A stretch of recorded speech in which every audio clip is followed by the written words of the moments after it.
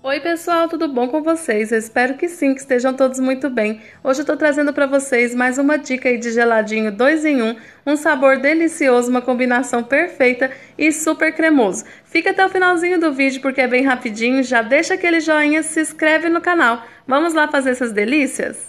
Então pessoal, para começar aqui eu coloquei um litro de leite na jarra, vou acrescentar 5 colheres de sopa de açúcar e agora a gente vai colocar uma colher de sopa rasa de liga neutra e a gente vai estar tá fazendo a nossa base. Liga neutra pode ser do potinho ou por quilo, é um estabilizante em pó na cor branca que deixa o geladinho mais cremoso e por mais tempo congelado. Por isso é necessário a gente colocar sempre liga neutra. Vamos colocar uma colher de sopa rasa.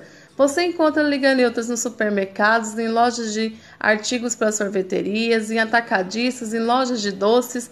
É super fácil de encontrar. Então agora a gente vai mexer essa base aqui até dissolver bem esses ingredientes.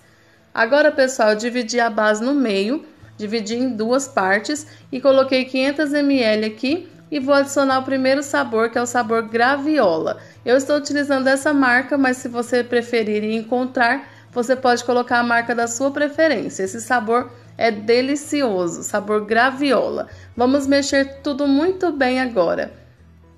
E enquanto isso, agora, pessoal, a gente vai fazendo a segunda parte da nossa receitinha, que é o sabor uva. Coloquei 500 ml da base e coloquei um pacotinho de suco sabor uva. Vamos mexer tudo muito bem até dissolver bem os ingredientes. Agora eu vou utilizar aqui para fazer a montagem o saquinho na medida 5 por 24.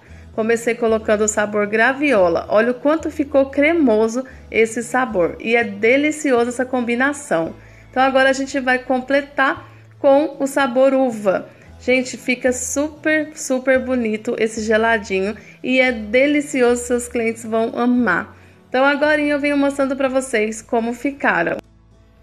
Prontinho, pessoal, ficaram todos prontos, somente levar para o congelador.